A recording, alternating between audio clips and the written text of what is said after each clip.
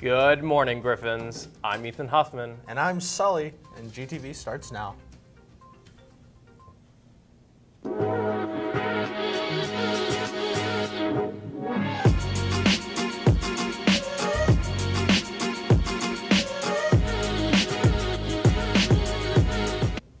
Today is Wednesday, June 1st. We're almost at the finish line, just a few more weeks.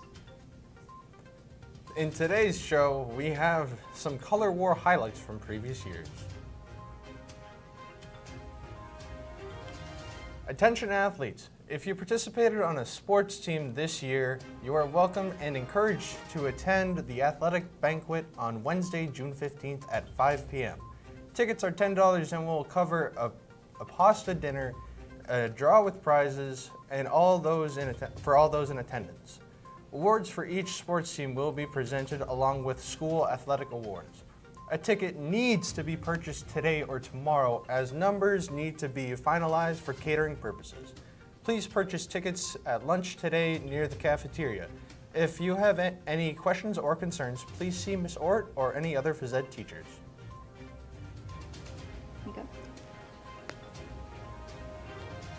Today at lunch, extra help sessions are being offered for any students who would like assistance with English homework.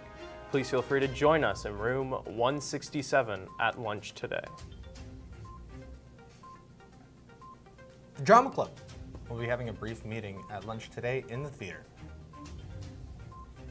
A quick reminder goes out to all of our arts students that this Thursday, June 2nd, is our GFESS Arts Night.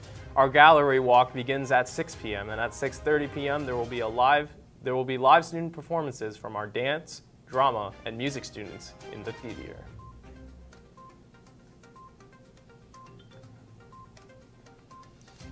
The Reader's Cafe is meeting today in the seminar room at lunch. What are you reading lately? Come out and share your passions for reading with friends. The Role Playing Games Club is meeting today after school in the Learning Commons. See you there. There will be a grade chant practice for grade 11s today in room 222 at lunch. This is to prepare you for your chant at Color Wars on June 10th.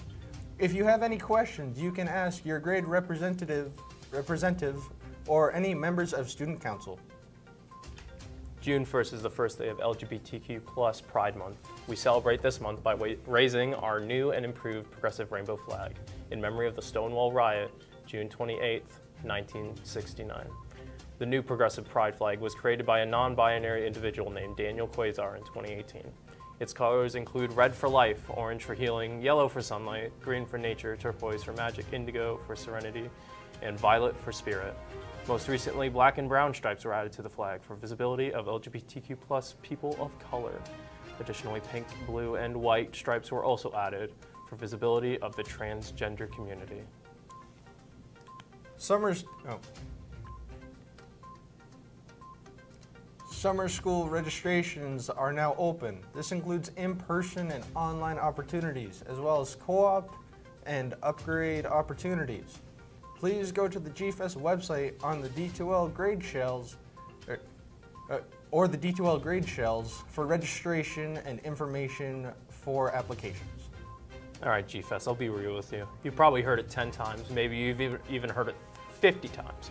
But I'm here to confirm those rumors are true. Color Wars is coming back. Friday, June 10th, during periods 4 and 5, the war is on. Let's take a look at some of the fun that was held in previous years.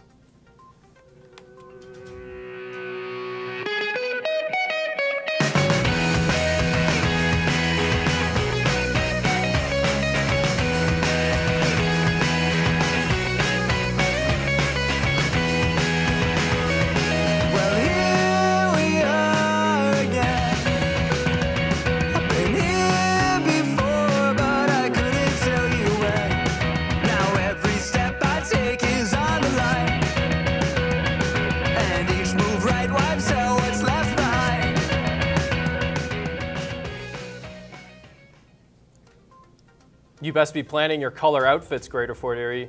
This is an opportunity you cannot miss. Do not let your grade down. I'm still not over my grade 12 class getting snubbed out of winning the, for the past three years. But that's right, it's going to be a fun day to celebrate the end of the year. Trust me, it's going to be a great time. All right, Greater Fort Erie, on that note, check in tomorrow for more news and entertainment.